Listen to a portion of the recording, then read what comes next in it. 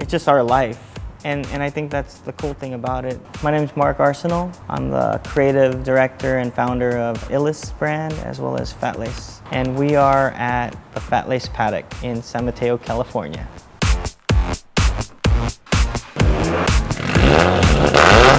Started Fatlace in 99, uh, kind of more of a hobby. It was a it was my it was my outlet to talk about uh, my breakdance. I like I loved breakdancing back then. I loved hip hop music, and uh, just kind of like the elements of, of the b-boy, right? Cars uh, kind of came in it because I didn't want to have three different blogs anymore. I had a blog about drifting because I love drifting, and then Fatlace, which is more about the hip hop side.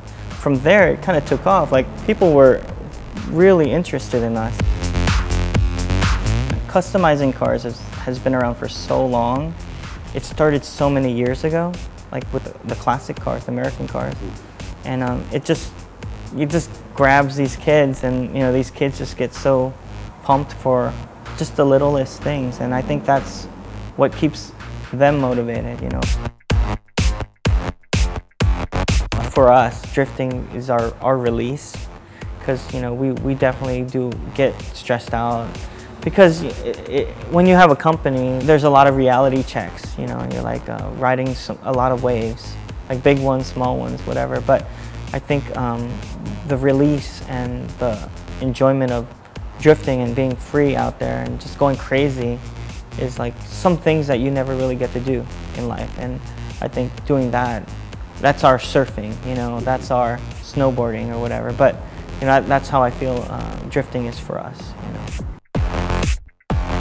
Now I think um, I'm, I'm kind of leaning more towards the, the retro side of things, you know, the more classic side of things. Uh, going classic and it, it, for me is like slowing down, you know, because technology is so fast. Instagram's so instant. They're not called that for nothing, right? But Instagram's my, my utmost favorite app right now. I think it's cool. People get to see what we're really into. We're lucky enough to do the things that we love and, and share it with people.